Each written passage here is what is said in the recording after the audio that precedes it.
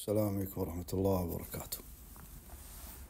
إخواني في كل قرآن كريم آخر الكتاب آخر القرآن يكتبون علامات معناتها علامات يوضحونها. بالسريع مثل النجمة هذه تبدأ من كل ربع حزب أو حزب أو جزء.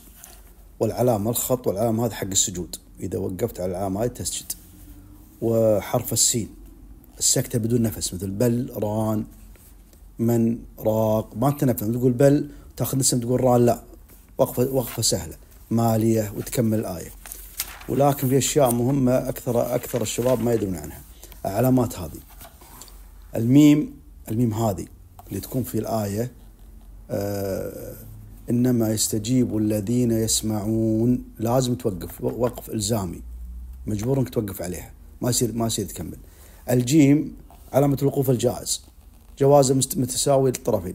إذا وقف جائز وإذا كملت جائز. مثل الآية هذه.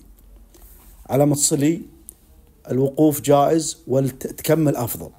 ما توقف على الآية. قلي علامة الوقوف جائز أفضل من ما تكمل ما تكمل. يعني أفضل إنك توقف.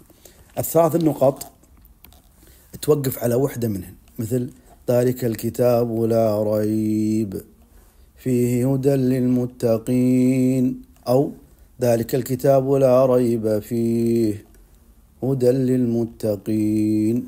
كثير من إخواني يجهل وفي علامات كثيرة ما تكلمنا عنها ولكن أنا باختصار أتكلم.